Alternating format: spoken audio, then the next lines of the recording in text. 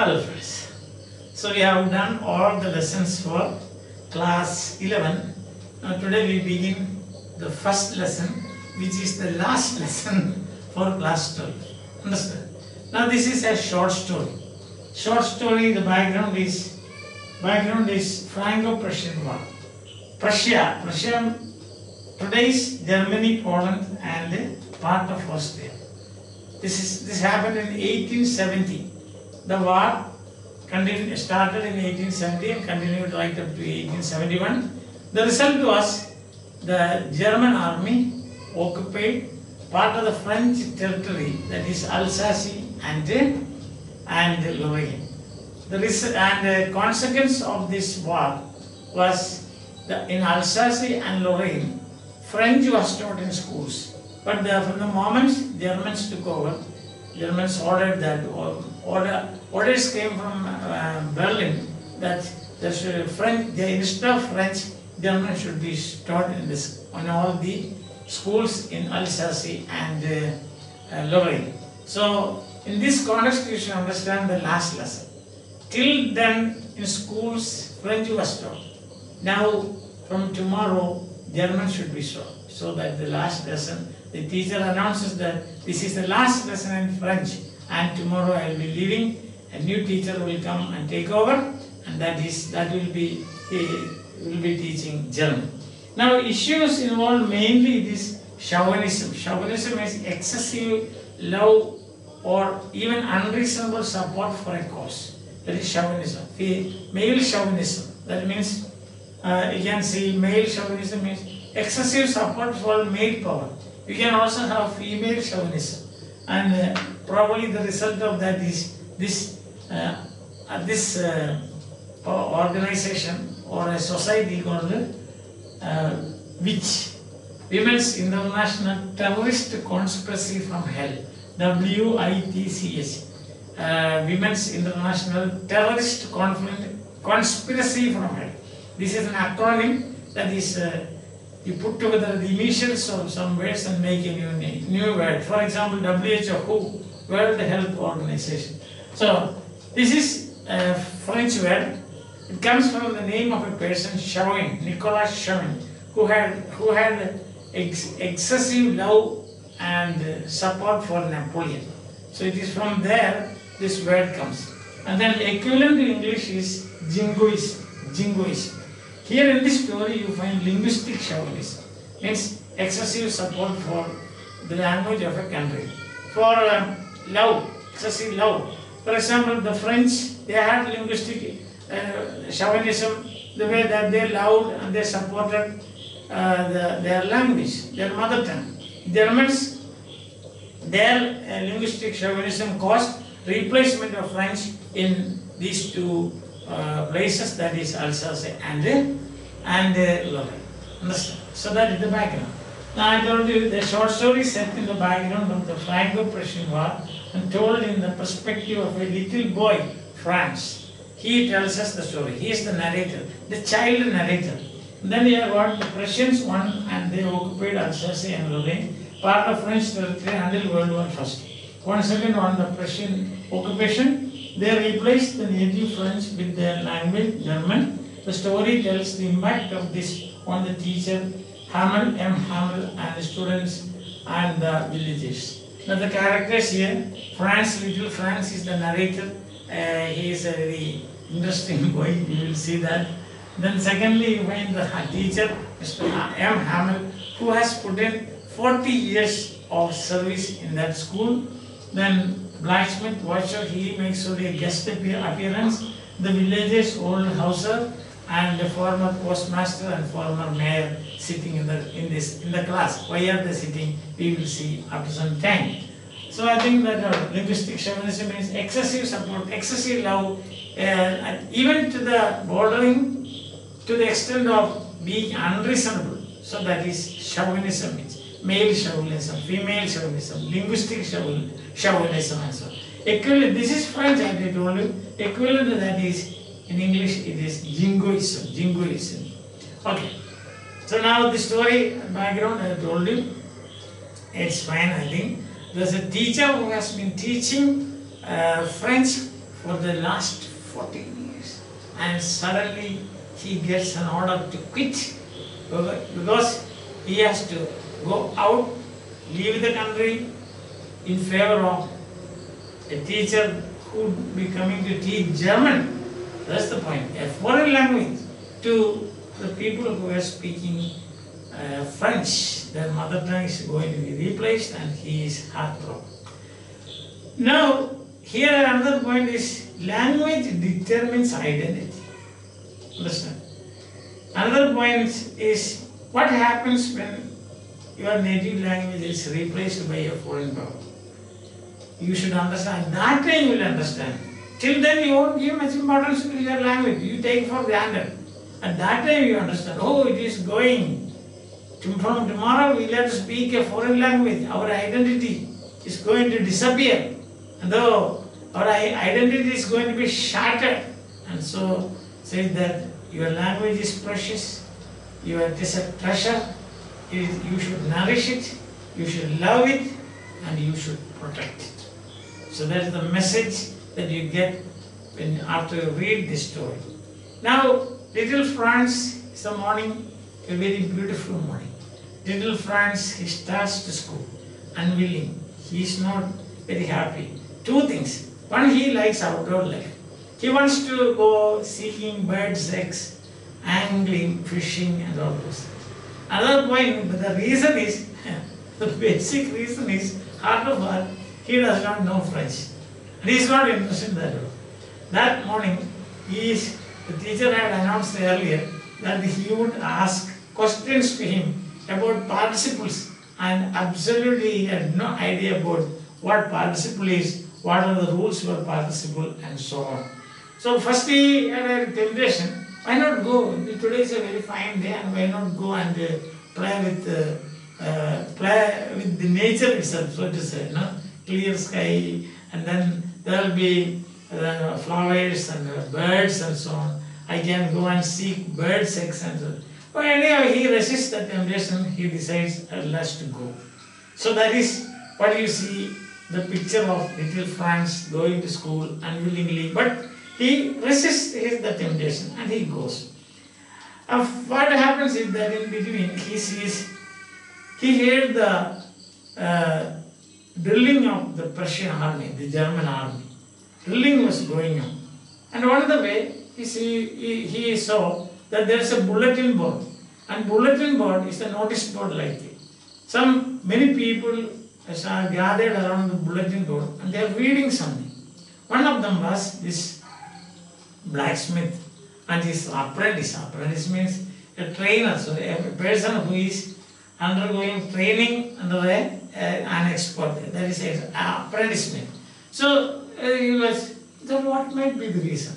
He knew that for the last two years, bad news would be appearing on that bulletin board. Maybe something, she does not bother about that because already late and he was running, running to school. Then this uh, black man said, oh, little bub. So I friendly, he said, bub. Little bub, don't run. You have plenty of time, you don't worry. He did not understand what is it.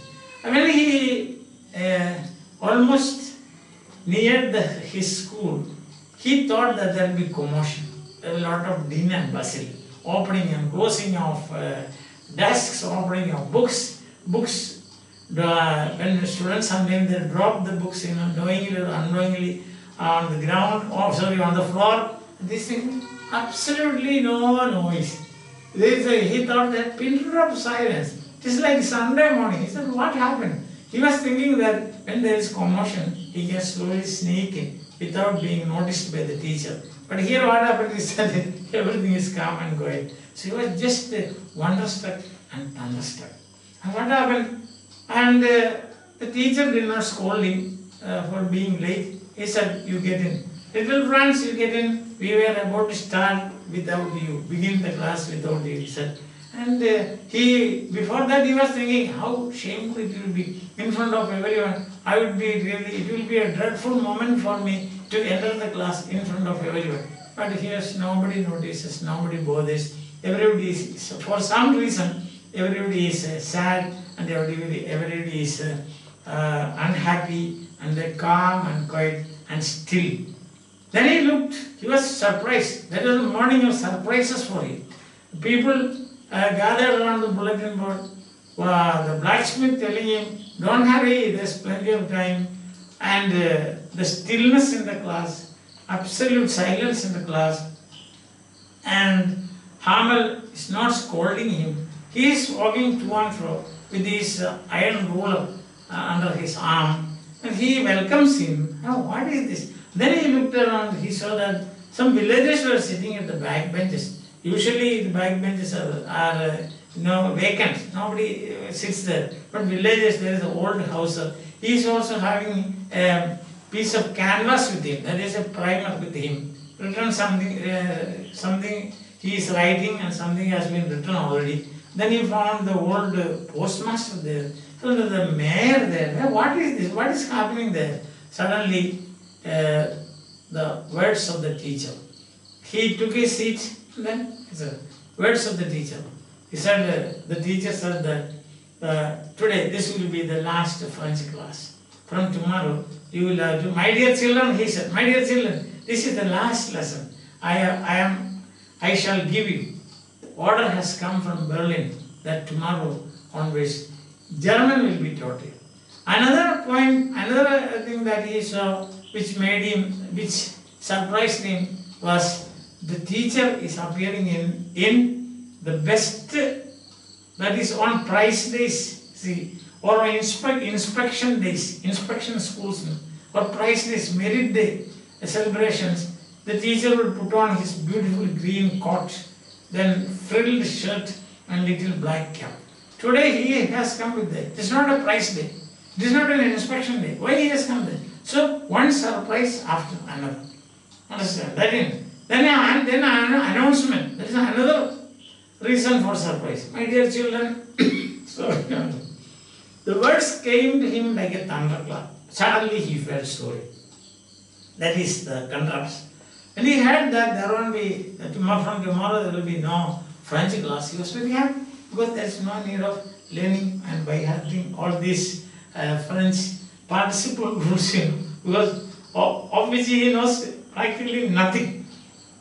A, and when he first came as a thunderclap, then he felt sorry. He said, Oh, I miss this teacher, I miss my grammar text, which he hated, so to say, and I miss my books, that is history of saints. They said, Oh, then he thought, this may be the reason why. He started thinking, ah, this is the reason why the villagers are there. The students are uh, very uh, silent, they are very serious. On their face, you could see uh, very, they are unhappy and they are very sad. Sadness writ large on the faces of these children, including the little ones. That is the who were who who were who came there only for miss nursery level students, we can say nursery rhyme and so on. Everybody was very serious. They were doing something like that. Then the teacher said, "Okay, we'll do one thing. Uh, we will start. We will start." Uh, he said, uh, "We will uh, start the class." But before that, he said like this what we should all be sad about this situation. We should all reproach ourselves. We are responsible for this, this situation. That is, we are going to lose our language once and for all. See, students, you are not serious about learning, learning French. Your parents, they are to be blamed because they, they were not serious. They used to send you instead to school, send you the mill or on the farm to work. And I myself, I also used it. Confessions. Confessions of a teacher. I said, sometimes I used to send you to water my gardens. And sometimes when I felt like going for fishing, I used to give a holiday in a, whatever it is. It is a sad thing that we don't know our own language. See that? We don't know our own language. We neglected our own language. We did not collectively nourish our own language. So when the Germans come here, they will look at us and say, what you, Frenchman, you don't know your own language, then why do you worry about uh, our taking over and our teaching you, arranging, arranging or teaching you German in this course. Then afterwards he said, he explained everything. He explained the rules of participles. He asked Franz to recite the rules. He stood up. He held he, he held the desk with his hand and bent down like could not look up to his teacher. But he said, "Are you also you know now the situation. Then he explained everything. He's, he was so sincere, so anxious to teach everything to them at one stroke. All what he knew, he wanted to explain to the students that, and the students were very attentive. And even Franz, little Franz says, Franz says that I understood everything. And he explained everything very clearly. After, after grammar, there was a writing session. And writing session, he had brought, written beautifully on pieces of paper, uh, Alsace, for France, France Alsace, France Alsace. And they, they looked like little flags. So look at that. And then he also gave them a lesson in history. The, children, the small children, they were very seriously tracing fish hook. That was the work given to them. And afterwards they sang ba ba be be boo ba be be boo in unison. Means means they, they were they were singing like nursery nursery rhymes. They reciting this nursery rhyme, and they found that this period was very serious. The beetles came in. Nobody bothered about it. The the pigeons were queen. They no no nothing could uh, distract them. The boy who used to seek distractions, he also very serious and he was writing and he was listening and he found that everything is very clear. His grammar books, they became very light, not heavy for them.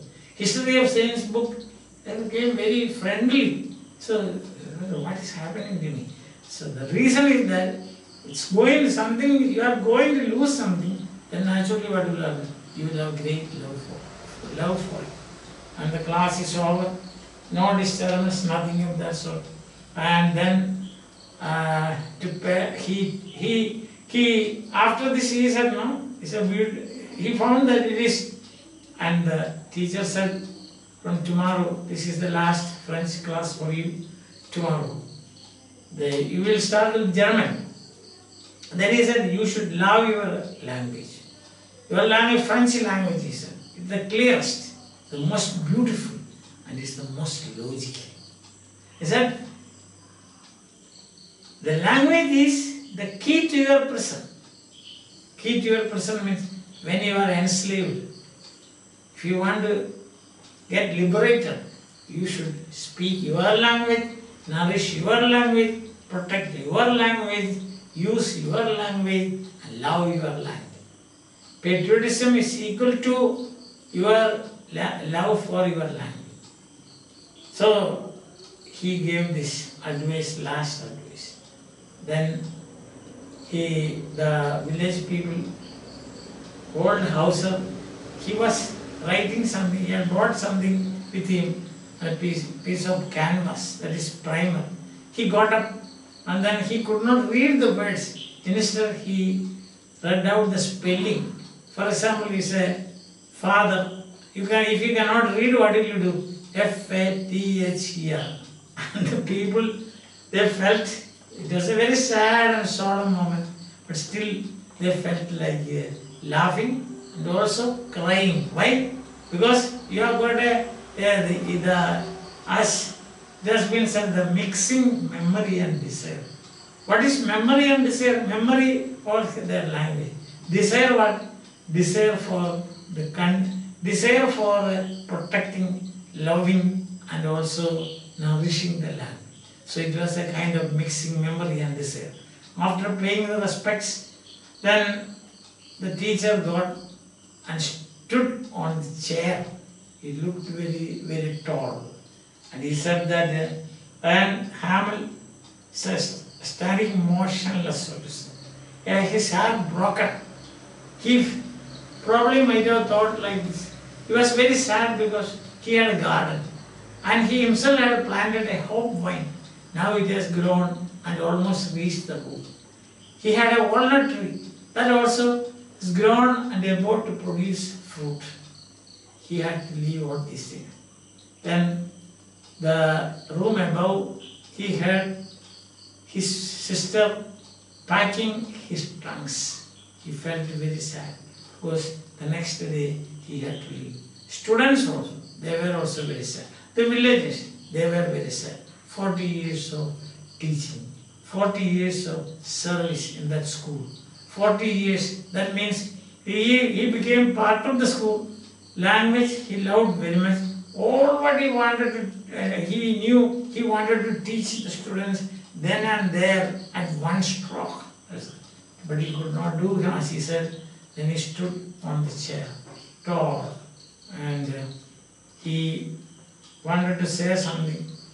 What happened is that uh, he could not say completely.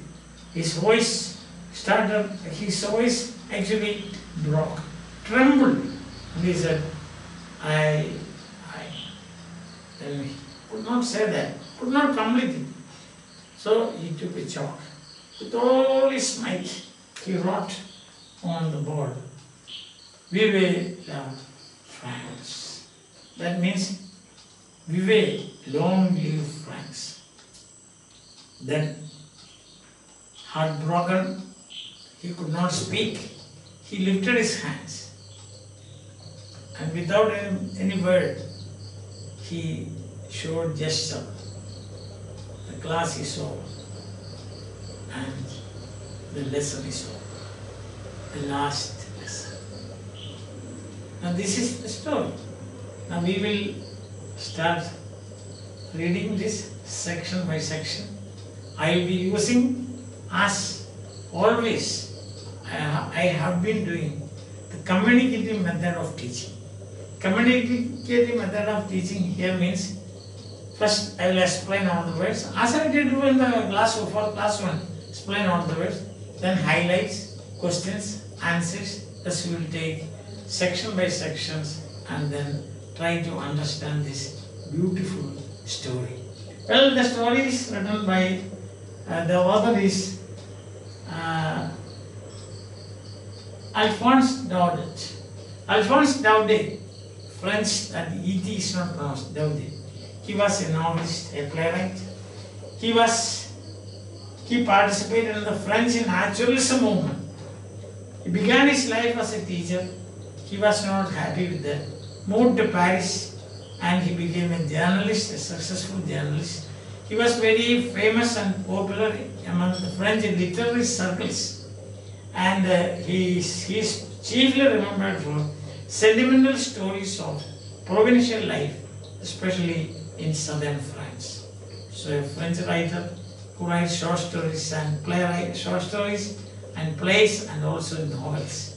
So we are going to see how beautifully he has written this from the perspective of a truant student.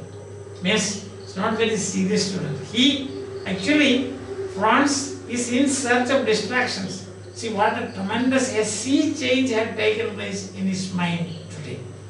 The last class. So this is the case, my dear students, with everything. When you have eyes, you don't, you take for granted. You don't, you, you don't become conscious of its importance. When you have your parents look after you, you don't, you don't uh, realize how great the services of your parents are. When you have your teachers, dedicated teachers to teach you, when they leave, you will, oh, what you will, you will say, oh, what a great man was he. So when they are with you, you love them, you look after them, you respect them, and you serve them. That's what you have to do after reading this lesson. So by see you again with section by sections and the method will be communicating method of teaching. Bye.